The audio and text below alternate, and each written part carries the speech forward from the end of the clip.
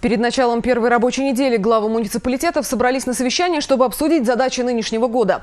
По встрече также участвовали отраслевые министры. Вел заседание глава республики.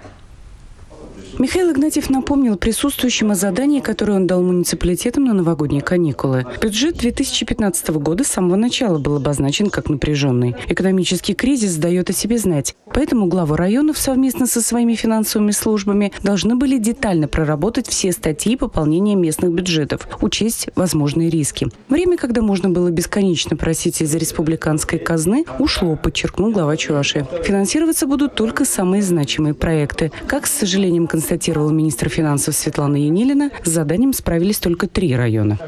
Должен быть анализ при формировании самого бюджета.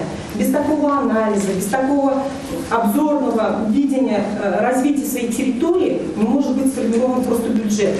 Каждый муниципалитет должен четко знать, за счет каких источников будет формироваться бюджет, на что в первую очередь будут потрачены средства, чтобы жизнь в районах нормально функционировала.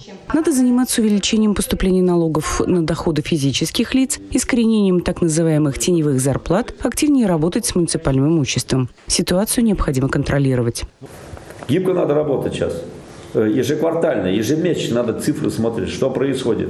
Пожалуйста, информационные технологии, интернет сегодня позволяет вам самим принимать управленческие решения. Самим, как отдельного муниципального образования.